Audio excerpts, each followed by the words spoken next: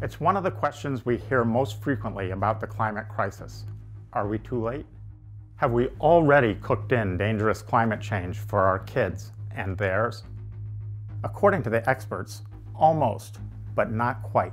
The calculus demands that we get our carbon footprint down to zero to stabilize the climate, and do it so fast that it can seem impossible. Our choices now will determine the kind of world we're living in by the end of the century.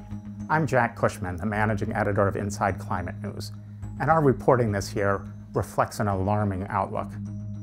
It's easy to hear defeat in the drumroll of studies and statistics, but don't write off the optimists.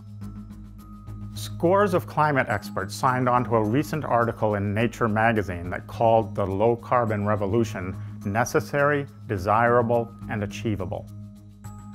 Experts are laying out detailed pathways for what's technically possible, and they say that if we really try, we just may be able to shift from fossil fuels to clean energy in the nick of time. But it means rapidly transforming the whole global economy, almost in the blink of an eye. There's no wiggle room. Global emissions of greenhouse gases have been climbing again. The three biggest polluting nations, China, the United States, and India, are all going the wrong way. The Earth's blanket of heat-trapping gases is getting thicker and thicker. That's why we've just lived through the four warmest years in recorded history. Weather extremes like Hurricane Harvey and the Lucifer heat wave are becoming more likely because of man-made global warming. Every ton of CO2 pollution increases the risks. Even half a degree of extra warming could wipe out almost all the world's coral reefs and put billions of people's health in danger. The US government's latest national climate assessment says our economy will be hit hard. But here's the good news.